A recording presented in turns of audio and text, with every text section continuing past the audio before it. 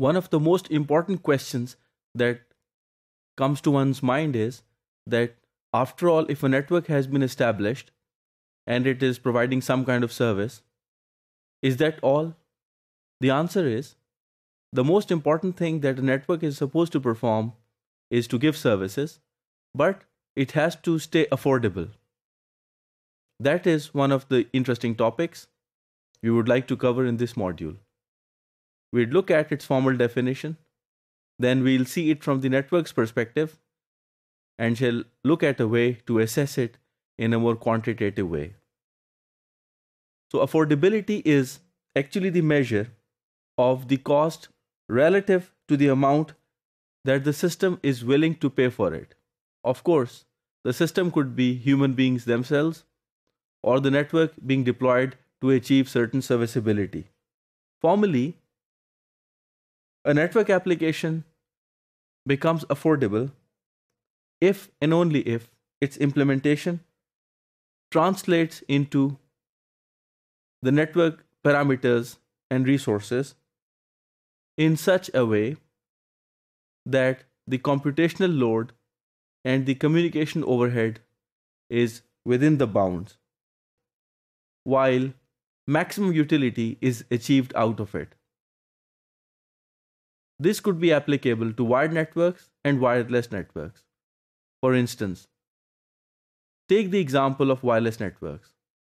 If the cost of access point that connects multiple host computers together becomes exceedingly unaffordable to achieve data rates of, say, 54 megabits per second. So, a little inconvenient could be afforded, and these hosts could be connected on wired LANs. Of course, on wired LANs, 100 megabits per second could be achieved, but the mobility shall be constrained. So, the trade off that comes with the affordability is some kind of compromise in its serviceability. If you look at this figure, you can imagine it in two ways. The outer octagon actually shows parameters which vary according to the network applications and uses.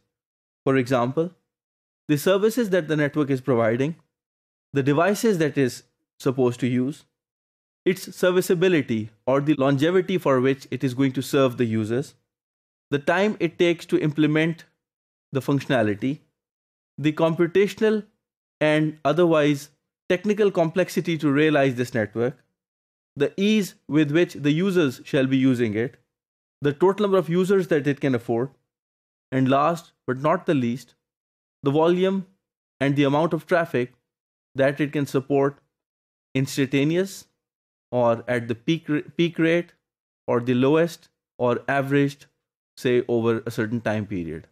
Now, all these factors grouped together would affect affordability. Actually, these define affordability. If you look at the outer octagon, it is basically the upper limit or the bound which determines affordability. The inner octagon is the utility. What we want is that the inner octagon does not spill over the outer octagon. This can only happen with a better design. The relationship between utility and affordability can be represented in the form of an integer linear program, which is a constraint problem. That is, if we want to maximize the utility functions that we have just seen, we must define them as parameters. And their weighted sum would give us the utility drawn from the whole network.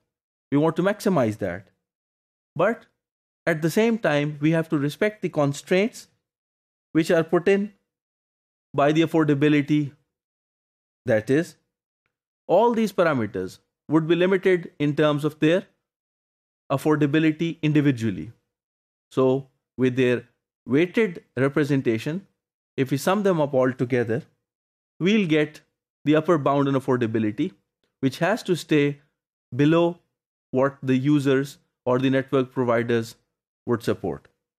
So, using this relationship, we can think of drawing a parallel or a relationship with what we have seen as the outer and the inner octagons.